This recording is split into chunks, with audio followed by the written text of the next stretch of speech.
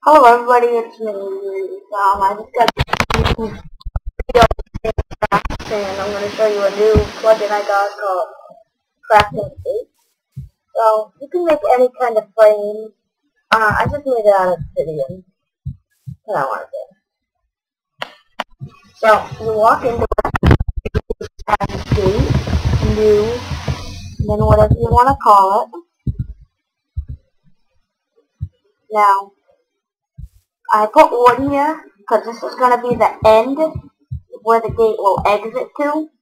So I'm going to do it face here, gate, exit, and then test one. Now, you've set where you want to walk into and where you're going to exit. So, and then you're going to do so gate, open, and then the name. And then it will say the gate was opened. Whenever you walk into here, it'll say thank you for traveling, and it will teleport me right where this block is. Um, so, the only thing is, if you walk onto here, it won't teleport you back.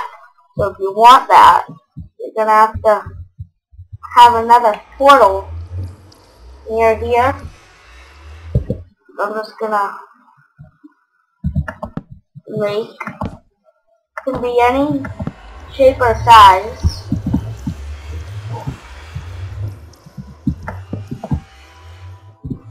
So I'm just going to make it quickly out of wood.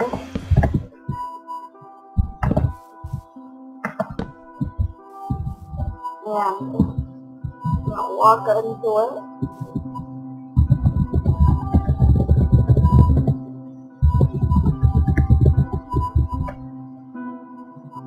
And there's a gate.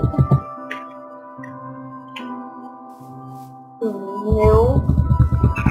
I'm gonna call this test two. Oh, I already have that name. New. Test. Now. The end. Now, if you want to teleport you back, then you'll stand here and do the gate, exit, now we do some gate, open, test. Now you can walk into here, no teleport, and you can and teleport back. Thank you, I hope this helped, and goodbye.